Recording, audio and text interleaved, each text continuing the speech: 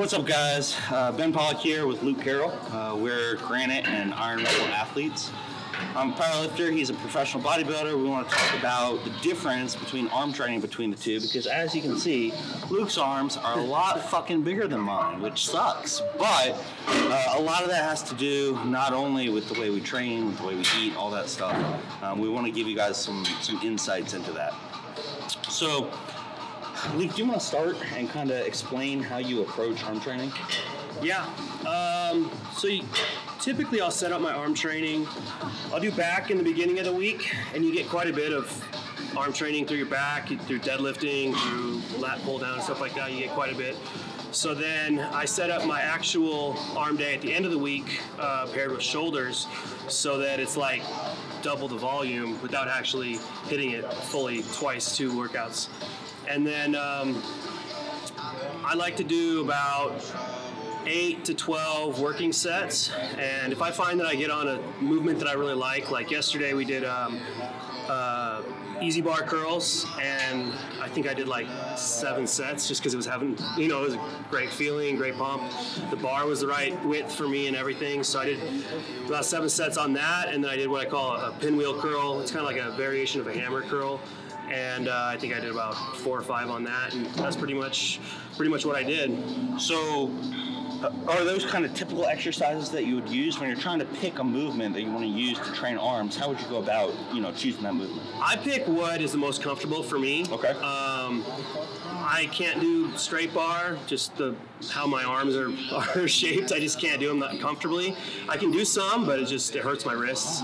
Um, you know, like alternating, I never really felt great on alternating. Maybe I'll throw a couple in here and there, but it's not my primary.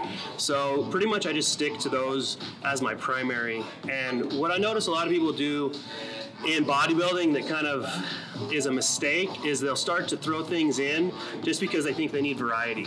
You know, you don't really need a huge amount of variety. Like people thinking they're like overtraining, they're probably just not really training enough or correctly, or they're probably throwing in too many different types of, of movements. So figure out what works for you, what you get a good stretch on, what you get a good pump on, what's difficult but not awkward, and just stick to that.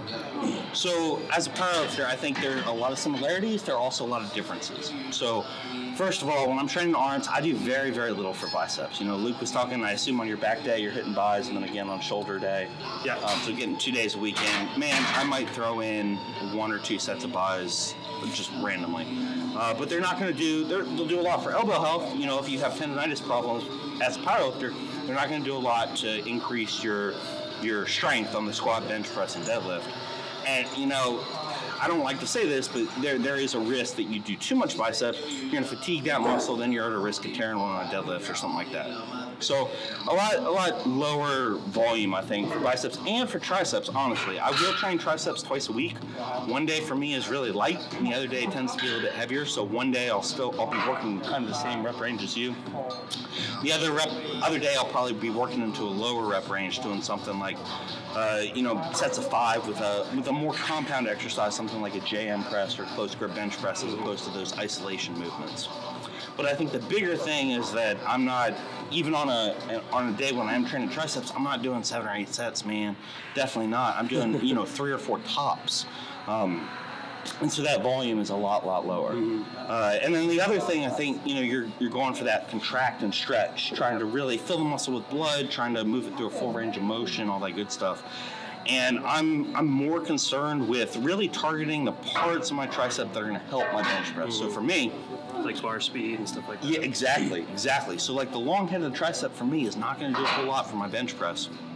Whereas kind of this medial head on the outside, that's really going to help me lock out at the top.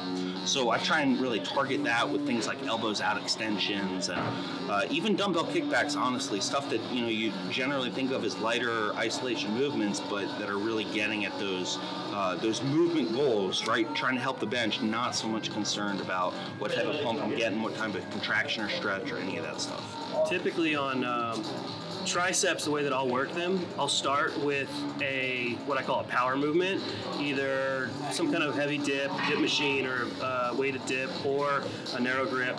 Like you said, I'll do you know, maybe four sets on that, and keep the rep range in the 10 to 12, and then I'll do more of a pump, which is like a tricep push down or something like that. I don't really like tricep extensions or skull crushers. They just give me tendonitis immediately, so I just stay away from them. you know, that's another thing I, I get a lot of people asking me like, "Oh, how do I get rid of tendonitis and this and that?" And I'm like, "Don't do things that cause it. just Absolutely, man. I think that's probably the biggest similarities. You got to train the stuff that's not hurting your body. If you're beating yourself up while you're training, you're not gonna be able to recover efficiently. You're not gonna get stronger. You're not gonna get bigger. It's just gonna be it's gonna be a bad look. So yeah." Well, thanks, man. I think that was really informative. It was great sure. to be able to train with you. Uh, you guys make sure to watch the uh, footage of the differences between us training, and we'll see you next time. See you guys.